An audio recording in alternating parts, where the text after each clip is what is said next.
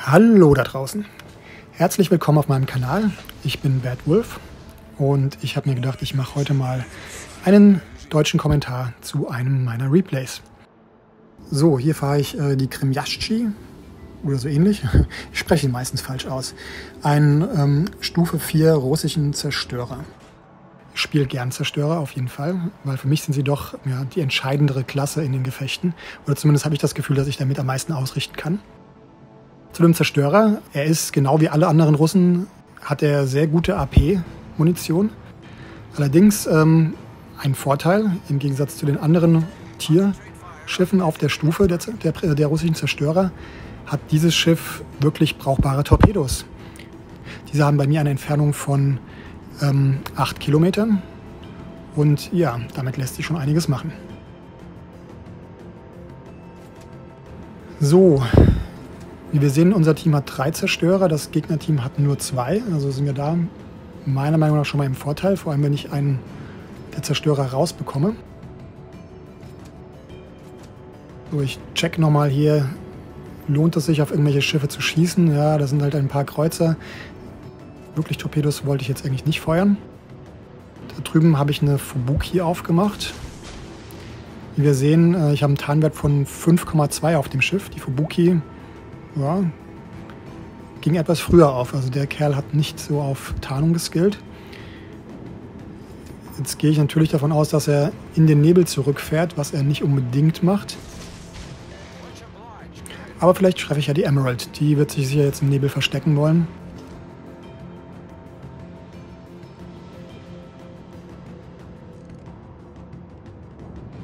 So, ich habe meinen Nebel gezündet und feuer mal schön auf die Fubuki. Die Fubuki wird mittlerweile aufgeklärt von meinem Kollegen, dem anderen Zerstörer, der sich auf der rechten Seite, äh, der sich unter mir befindet.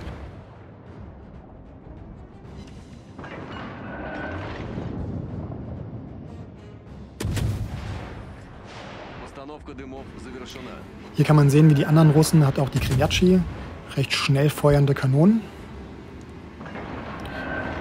Joa. Die zwar schön treffen, aber irgendwie keinen Schaden machen. Immer dann, wenn man es mal braucht, machen sie keinen Schaden. Was allerdings ein Nachteil von den Kanonen ist, die Kanonentürme tränen sehr, sehr langsam. Und da hatte ich gerade Glück gehabt. Also ich hatte schon die Emerald auf dem Schirm und ich hatte schon überlegt, ob die Emerald Torpedos in meine Richtung abfeuert. Hatte gehofft, dass sie außer Reichweite ist. Und das war sie auch. So, der Zerstörer ist raus. Da haben wir einen schönen Kreuzer. Jetzt umgeschaltet auf die AP. Kann ich euch zeigen, was die AP-Munition an Zerstörern macht.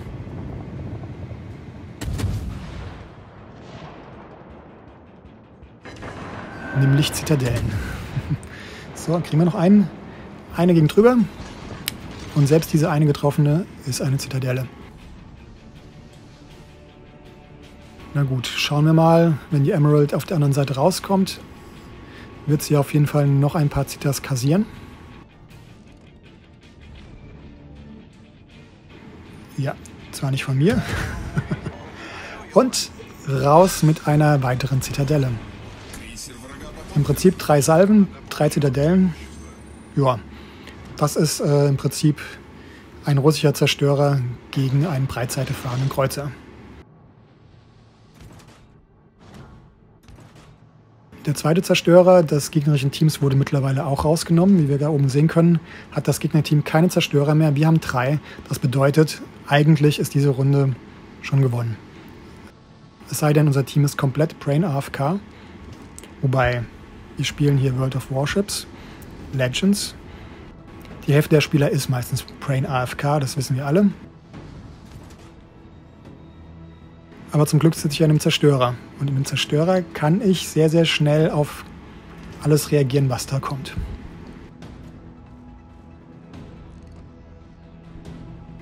Da ist ein Pensacola, der möchte ich eigentlich nicht zu nah kommen.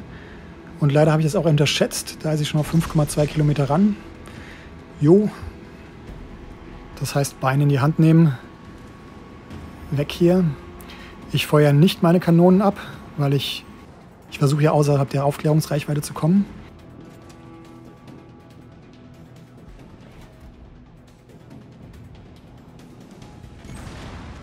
Hier kassiere ich noch ein paar schöne Treffer, aber habe es geschafft. Ich bin nicht mehr entdeckt. Was sehen wir da? Drei wunderschöne Schlachtschiffe. oh, das ist ein Fest für Zerstörer. Vor allem alle so schön nebeneinander. Leider alle ein bisschen zu schnell, sodass ich keine Torpedos durch, durch äh, die Lücke da schießen kann. Allerdings, was ich sehe, die Texas bremst ab. Ich schätze, die werden alle abbremsen, deshalb schicke ich mal ein Set boah, testweise durch die Lücke. Vielleicht trifft es ja irgendwas. Man weiß ja nie. Was Schlachtschiffe heutzutage alles machen, ist, sich hinter Inseln zu verstecken. Deshalb gehe ich davon aus, die bremsen ab, um nicht unserem einen Schlachtschiff da in die Arme zu laufen.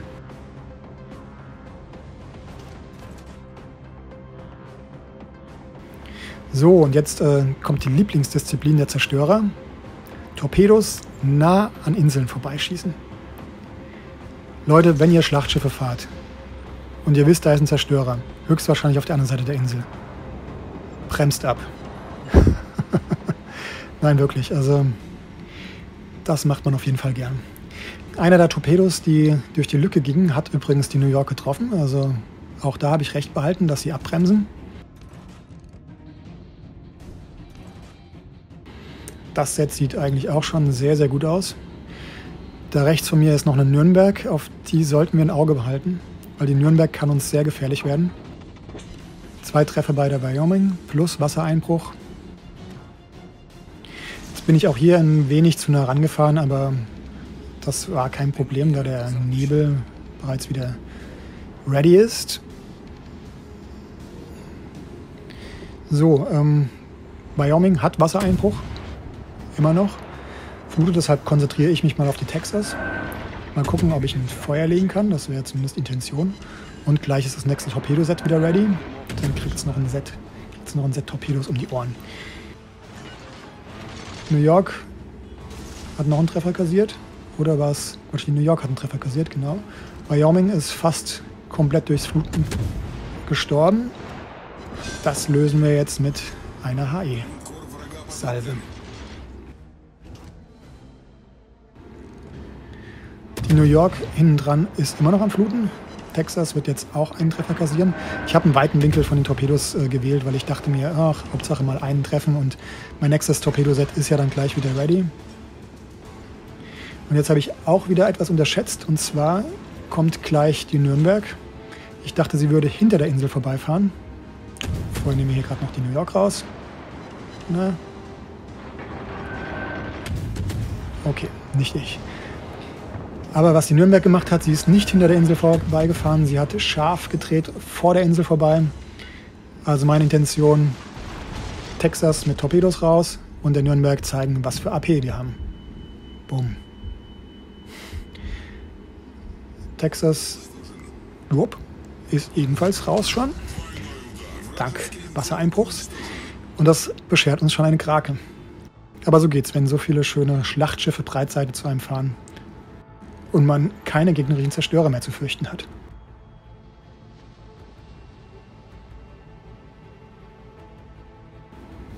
So, das Spiel ist gelaufen. Da hinten auf der anderen Seite ist noch eine Fuso, 19 Kilometer, 17 Kilometer entfernt. Die werde ich auf jeden Fall nicht mehr kriegen. Ich habe noch fünf weitere Teammates, naja, vier weitere Teammates, die in Reichweite sind. Bis ich da bin, ist die Fuso auf jeden Fall Geschichte würde ich zumindest denken. Aber wir sind ja bei World of Warships Legends und vier Schiffe kriegen ein anderes Schiff auch nicht wirklich klein geschossen. Was kann man machen, wenn man Zerstörer fährt? Jo, man fährt hin und kümmert sich selbst drum. Wie wir sehen können, bin ich auch der einzige Zerstörer noch in dem Team. Irgendwie haben es die anderen beiden Zerstörer geschafft, sich töten zu lassen. Warum auch immer. Wie gesagt, ich habe keine Ahnung, wie man das normalerweise schafft. Man, ich sehe alle Gegner bevor, die mich sehen können, also insofern kein Grund aufgeklärt zu werden.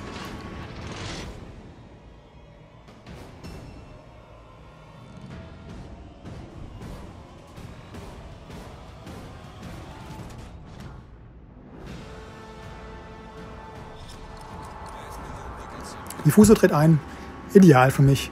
Ein ZN eng gesetzt, ein Set weit gesetzt, ich habe eigentlich gedacht, ich brauche nur ein Torpedo treffen.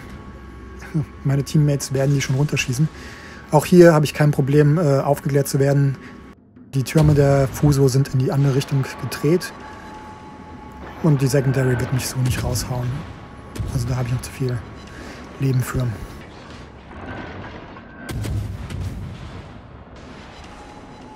Plus ein kleines Feuer gemacht.